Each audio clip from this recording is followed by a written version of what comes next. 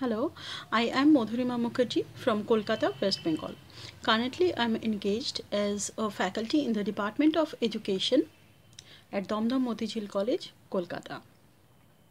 I have qualified UGC NET examination with the guidance of Dr. Harsh Sir and his Educators Plus channel.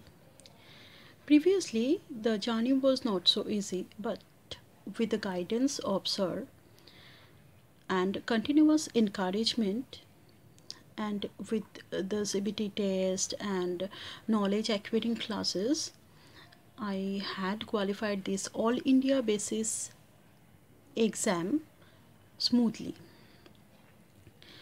I will be always thankful to sir for his encouragement and guidance throughout this journey.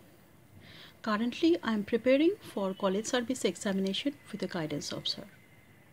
Thank you.